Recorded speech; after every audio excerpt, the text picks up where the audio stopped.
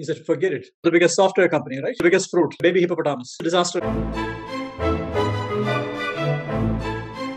Time for me to take a year off so that I'm with kids when she get, gets back to full time work. And I could write the book as well. That is how the two came together personal reason and this need to write a book. I was writing from the attic of my house. And from the attic, there was a big window. I could see the backyard.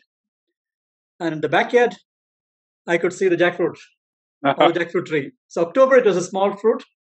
And I kept on writing. And this is right in my line of sight. Can't and by, Dec- by December 15th, it became baby hippopotamus.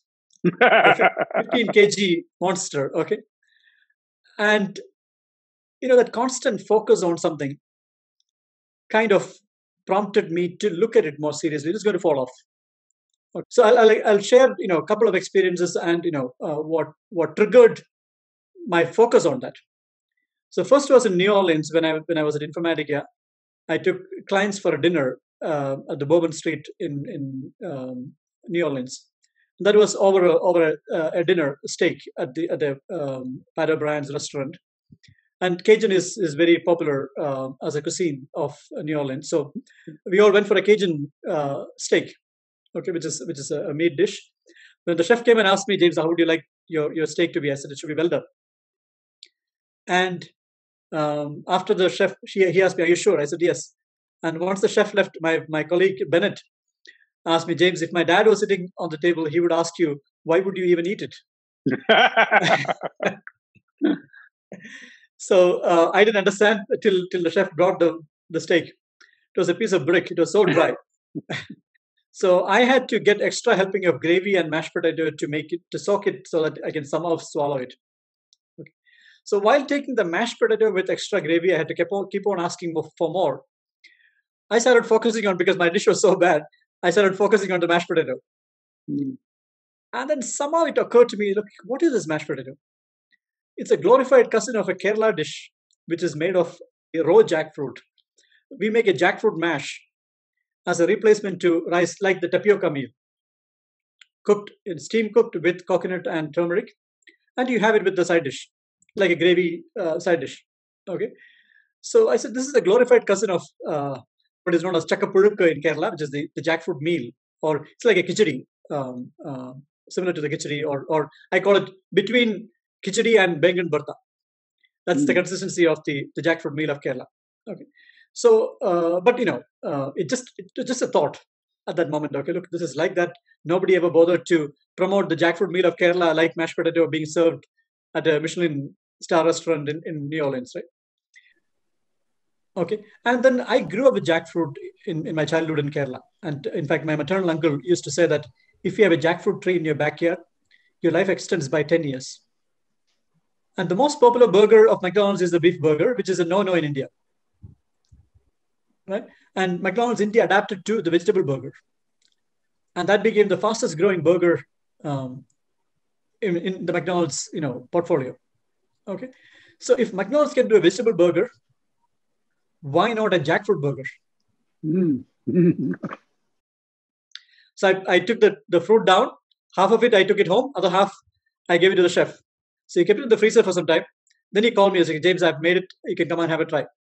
So we had the burger. It was a tight burger. So in fact, he used the seed crumbs, roasted seed crumbs instead of bread crumbs. And he made the raw jackfruit cooked to a consistency where it is more like meat.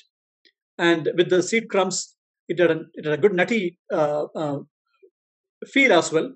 So it was a tight burger compared to the vegetable burger on on uh, with McDonald's, uh, which is very mushy, which is very soft because aloo is supposed to. Yeah. to it's okay.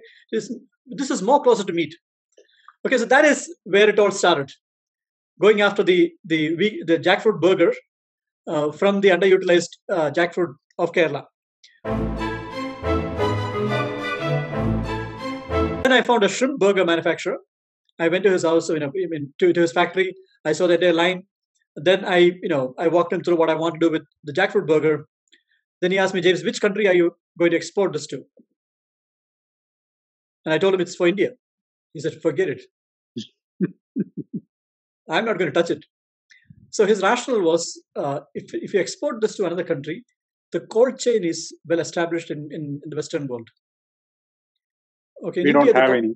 the culture. And he gave me one insight, which may not be true now. He said, look, India, because of the power fluctuation, a lot of uh, freezers work on backup generator. And that is man operated. In the night, when the power goes down, there's nobody to turn on the generator. So the, the temperature inside the freezer goes up. And then next time morning, they'll refreeze it again. So the food gets spoiled. And the manufacturer gets the blame. Mm. Okay. So if if he's worried about you know uh, his reputation, I'm more worried about my reputation. So I, I dropped the whole idea. So that was a disaster. You know, so I stopped the idea of if jackfruit grows in India, it should be sold in India first, rather than exporting to another country. I mean, from a carbon footprint point of view, how do I make sure because it's a highly perishable product? Correct. Okay. So I had to increase shelf life without the mess, and that is when I came across freeze drying. Okay, as a way to keep it intact, but you can you don't you don't need the cold chain to cut and take jackfruit out. It's a messy affair. Okay? Yeah. It, it takes 90 minutes and four hands to get from the whole jackfruit to the, the ready to cook version of the jackfruit pods or the, or the bulb. Okay, that is how messy the, the, the processing of jackfruit is. Just to give you the math, a 5 kg fruit, if you cut it open, the edible portion is only 1 kg, 1 kilogram.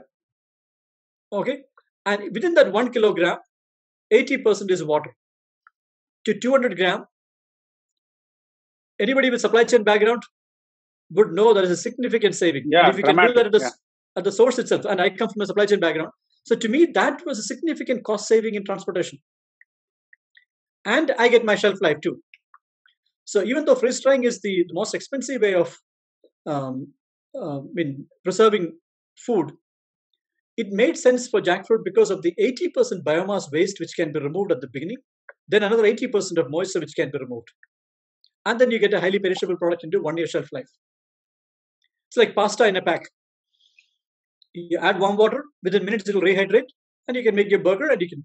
Then I took it back to the chef, and he said, "It's not just burger. I can make everything with it, because you know I can I can powder it, I can you know rehydrate uh, to more like a Manchurian, which is katak. I can uh, rehydrate some more. It becomes uh, more like a um, like a mashed potato. I can add this to my lasagna.